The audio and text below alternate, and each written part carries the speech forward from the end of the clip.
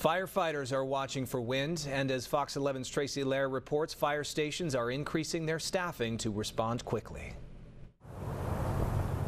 The flags that are flapping at the Montecito Fire Protection District appear to be the calm before the windstorm. One, while the Station 2 flag is straight out blowing in a hard, heavy wind. So The wind is likely to push the moderate arrow to high at the Montecito Fire Danger sign around the corner. here in Santa Barbara County, we're really proactive with upstaffing in these events. And here in Montecito, we're bringing on two additional fire engines tonight, plus an additional chief officer, another battalion chief. So we'll be upstaffed through actually Wednesday morning. And same with Santa Barbara County and uh, Carpinteria and many other resources and, and agencies in the county.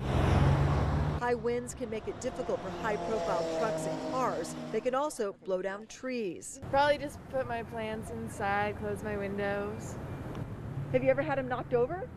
Oh yeah, definitely. They're very strong winds that come through. Normally practice might get canceled if uh, if it was too windy. In the past, winds would cancel outdoor plans, but during this pandemic, many people are already staying in. If you get a power shutoff warning, it means the wind in your area will be strong enough to blow down power lines, sparking fire danger that's already impacted by dry conditions. This event is actually more Santa Ana related than Sundowner related. So, so it's driven by a little bit different force and, and we're just not seeing it yet. The goal of all the watches and warnings is so that you're not caught off guard. In Carpinteria, Tracy Lehr, Fox 11 News.